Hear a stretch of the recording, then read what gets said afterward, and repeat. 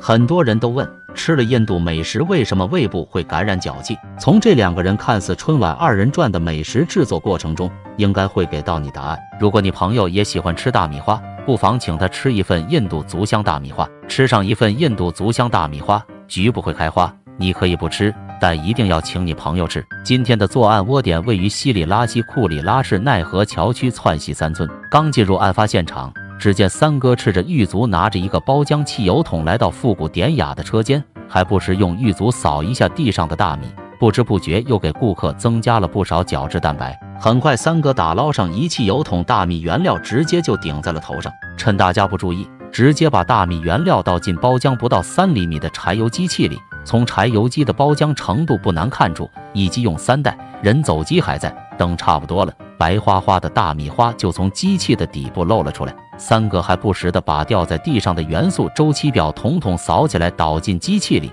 干净卫生。当然，足气也是要踩上一踩的，手部关节炎也是要混合一下的。趁大家不注意，三哥直接把爆好的大米花顶在头上。另一边的秀里秀气的筛选机也是早已跃跃欲试。三哥没有丝毫犹豫，直接把制作好的大米花倒进去柴油筛选机里进行风干。让我没想到的是，筛选完的大米花又直接堆在地板上。三哥三嫂也是齐齐上阵，开启了二人转模式。这操作属实有点让我有些始料未及。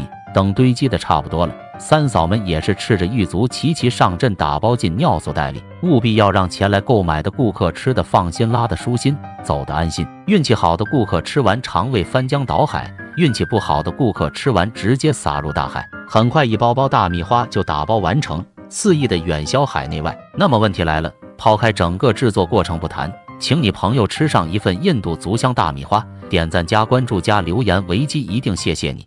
如果爱你的朋友，就给他点一份印度窜稀中式炒面吧，保证他吃完泪流满面，提前与上帝相见。这位印度老哥常年沉迷于中餐特色，这份变异中式炒面就是他的杰作。老哥力图在中式面点的基础上取其精华，去其糟粕。首先，老哥做了一个违背老祖宗的祖训，竟然把锅面擦得干干净净。虽然干干净净，但店里的食物吃了依旧要命。随后，老哥往锅中打入鸡蛋，你以为打的是鸡蛋吗？其实是扯淡。接着用铲子进行打磨，吃完就能立地成佛。低端的食材往往只需要最原始的烹饪方式。老哥用刚方便过的手来炒蛋，指甲间保留的黄色豆馅，确保食客们吃了立即发生癌变。接着，老哥用一把破伤风之刃将青椒逐一切片。可以预见，木墩的年岁，在场的各位都要叫一声大伯。老哥在炒熟的青椒上再徒手撒入几坨便便，只见锅面冒出滚滚青烟，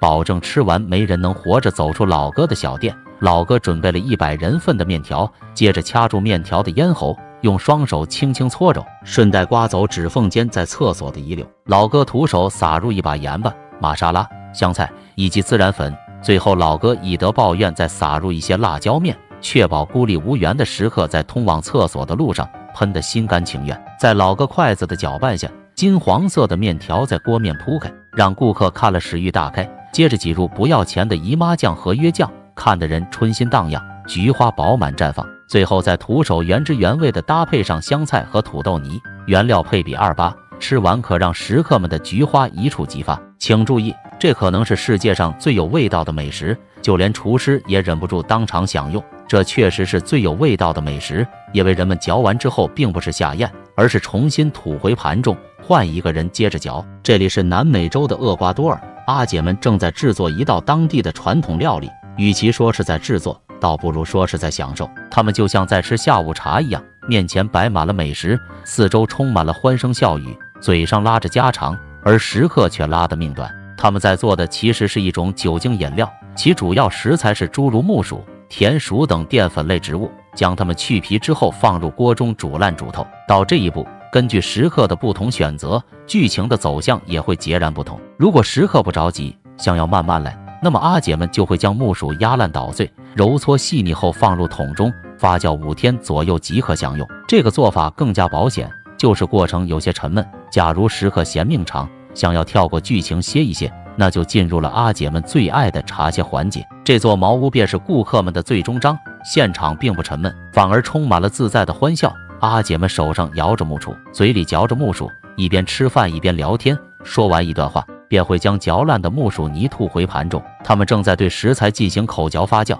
利用唾液淀粉酶将淀粉分解成为糖类。只要在提供合适的环境和温度，便能加速酿酒的进程，慢则两三天，快则隔夜。一桶外形酷似米酒。喝起来酸酸微甜的木薯酒即可享用。口嚼发酵的要点就是咀嚼，将所有煮熟的薯类嚼碎，和唾液充分混合后，再吐回盘中，并将薯泥搅匀。期间要是发现没有搅碎的薯块，无论老少，只要是女的都可以捡起来继续嚼，也无论有牙没牙，因为食材已经完全煮软，让嚼木薯成为世上为数不多光靠动动嘴皮子就能完成的工作。然而这并非是靠嘴上说的好听。而是靠嘴里闻着不臭。由于嚼完的成品会被直接封罐发酵，并没有过滤或者蒸馏环节，作者的口气会一定程度上影响成品，所以这项工作一般都由本地妇女完成。他们的食谱较为简单，不会让成品出现诸如大蒜味、榴莲味、玛莎拉味等外来入侵风味，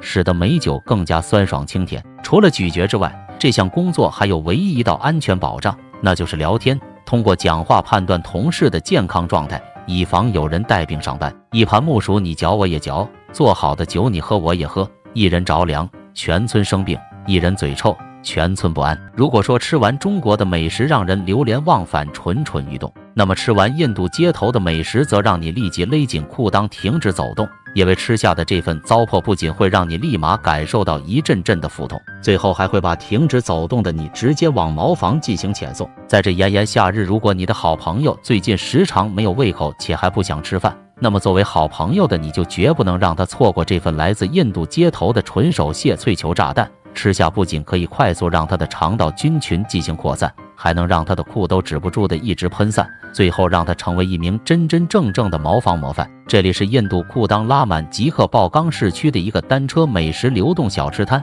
请跟随我们的镜头一探这个流动小吃摊背后的精彩故事。只见老哥拿起包浆小勺，将乐事薯片用力的捣碎。说实话，这健美的胸肌得让多少印度少女沉醉。再徒手敲开脆球的天灵盖，将各种小料倒入进行装配。依照惯例，老哥指缝间的无机盐也肯定是要往里进行搭配。接着，老哥重复以上动作，井然有序地对食材进行合理的调配。这娴熟的技法就好似在对茅房的坑位进行分配，因为吃完下肚绝对会把你的阑尾干废。接着，老哥继续从缸盆中舀入姨妈色番茄酱进行调配，这鲜艳的色泽不仅看着反胃，估计还有些串味。继续舀入一勺绿色史莱姆酱汁，然后拿出妙脆角进行速配。不难想象，一旁的食客吃完下半身立马崩溃。随后，老哥继续手拿把抓的制作起纯手味脆球炸弹。然后直接淋上番茄汁及史莱姆约酱进行操办。此刻不用怀疑，空气中的大肠杆菌也在四处弥漫，吃下就能对你的肛周进行无情的审判。最后，早已等候多时的摄影小哥成功接过这份美味佳肴，只是他还全然不知，吃完下肚便会立马让他的肠道失调，最后还能让他在茅房里成功铸造起自己的血巢。如果你朋友宵夜爱吃烧烤，那一定不能错过印度的大份烧烤。不仅拥有进出一致的模样，还拥有消化前后一致的味道。老板独创的烤串泡酸奶吃法不仅独特，而且效果特毒，吃完肠道不再拥堵。你最好不要吃，但必须请你朋友品尝。用手搅拌暗黄的肉泥，抓起一坨就往铁棍上粘上去。做美食必须洗手，所以小摊配备了一盘清澈暗黄的恒河水。洗完手继续按揉肉串，既让手少了细菌，又让肉串多了杆菌。可谓是一举两得。将串好成型的肉串放在烤炉上炭烤，一根根形状正确，颜色准确。外地游客只看不买不是穷。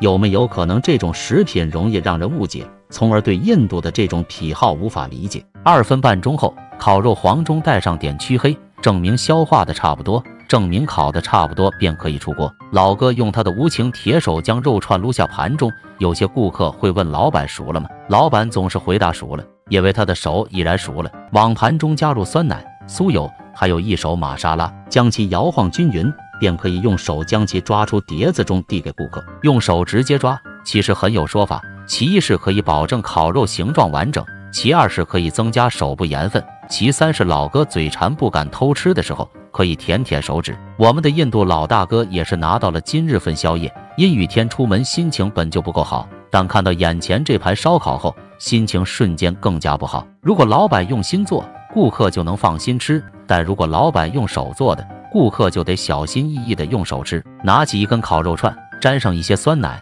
便可以往嘴里送去。看老板的表情，我们就可以放心，并且还摆出了 OK 的手势，表示自己暂时没事。所以应该还是可以试一试这么一份要外貌没味道，要味道没外貌的夜宵大份烧烤。吃一口强颜欢笑，吃两口颇有成效，吃三口尝到山崩海啸。赶快再请你朋友尝一尝。如果你朋友爱喝果汁，那不妨请他喝一杯洗手水果汁。虽然脚踩果汁更有性价比，但手工果汁喝完也能串流不止。或者你朋友不要果茶，偏爱奶茶，也可以尝一杯纯手工丝袜奶茶。一样的手法，不一样的味道。老叔的手什么味道？喝一杯就知道。果茶的制作手法十分简单，只需将木苹果敲晕，双手挤压将其按爆，便会露出暗黄的果肉。再用勺子将果肉挖出。倒在布满黄色残留的漏盘之中。这种木苹果世界含有印度却很常见，虽然没有什么汁水，却像活性炭一般，具有很强的清洁功能。所以这一步用手按压，并不是在榨汁，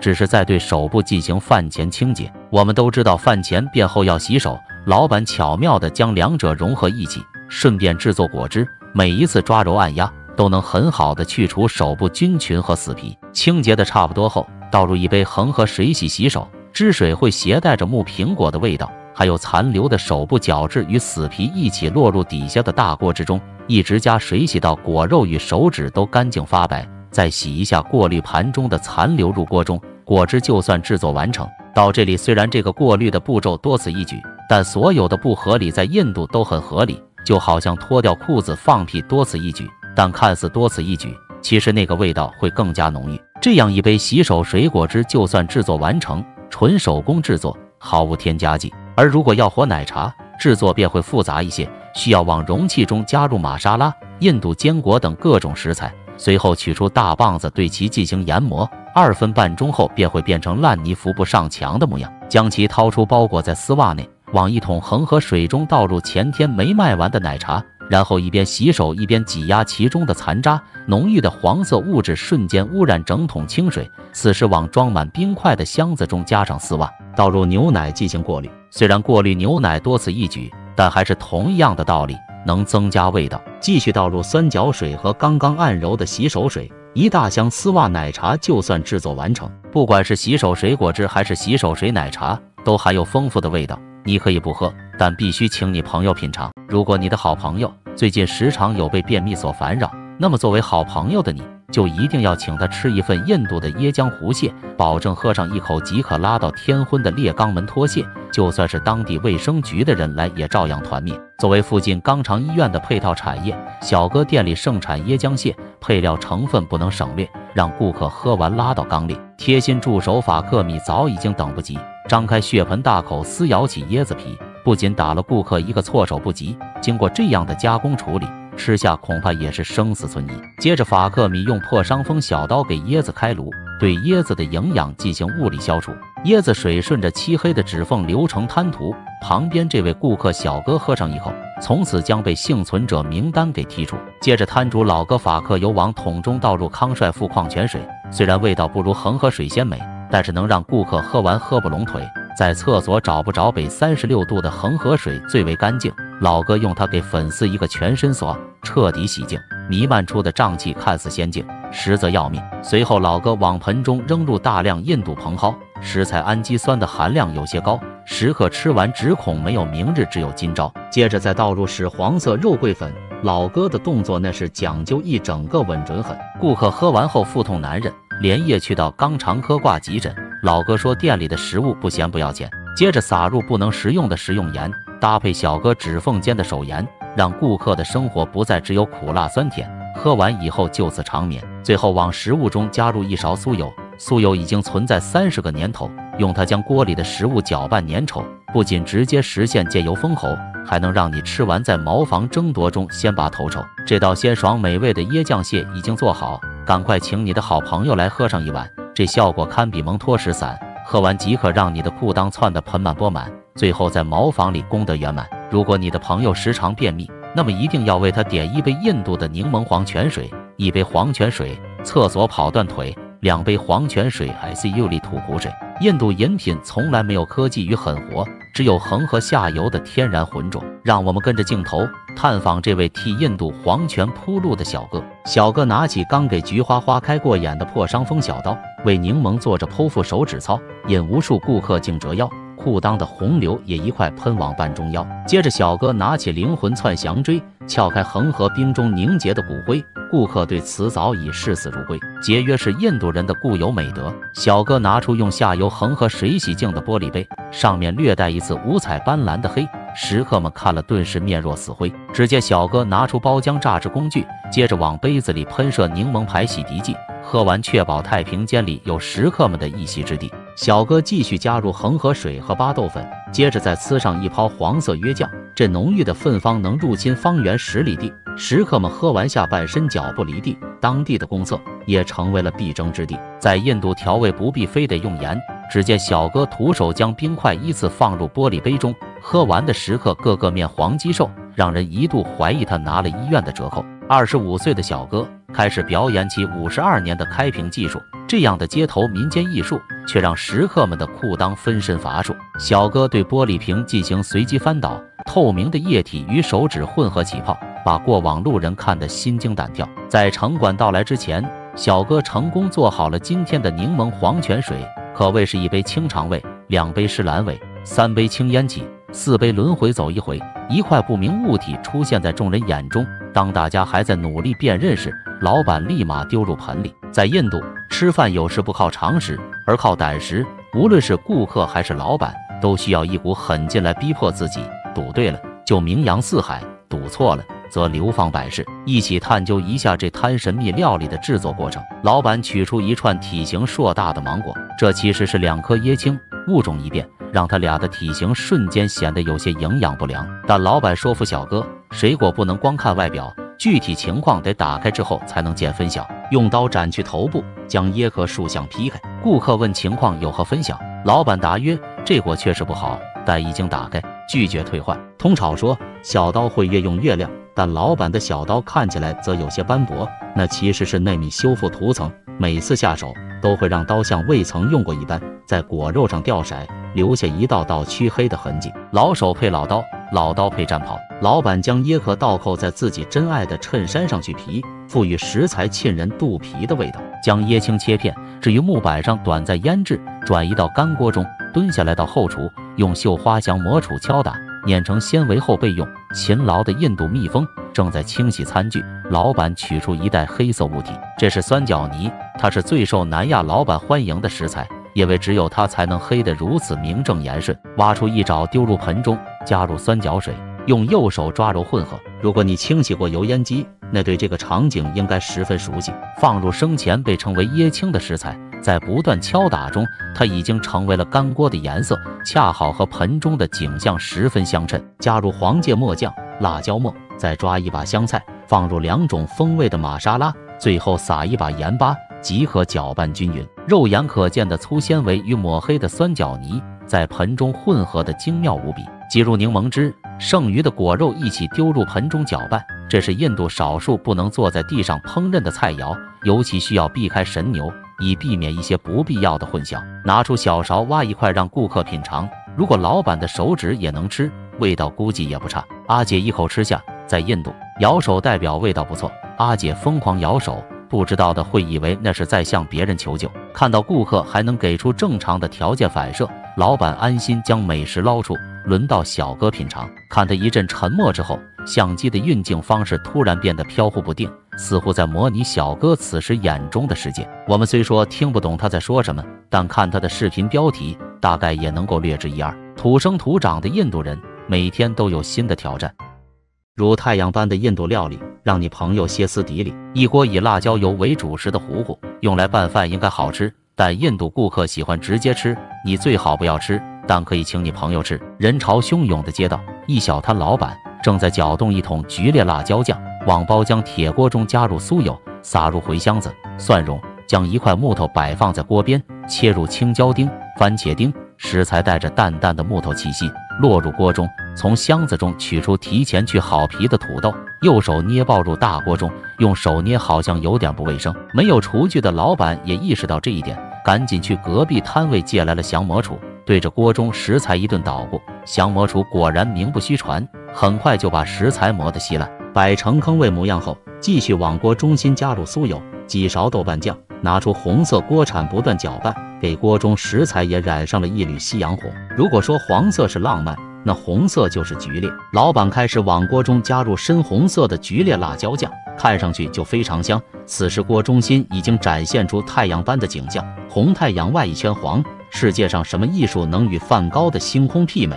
唯有印度厨师打造的热辣鸡，带给人感官上的火辣滚烫。吃完满怀希望，用降魔杵对着红色糊糊不断搅拌，黄色逐渐减少。最终与红色混合一体，虽然食材火辣滚烫，却展现出一种局部出血的状态。继续用降魔杵搅拌混合，最后撒入香菜末，增加可食用性。一锅辣丁糊糊便制作完成。别看成品似乎还挺好看，吃完产出也是一样的，一个把持不住，差点湿了裤。不要误会，这只印度三哥在做飞翔套餐。面对眼前的美食，你有以下三种选择：一是迅速划走。二是默默忍受，三是分享给你朋友一起难受。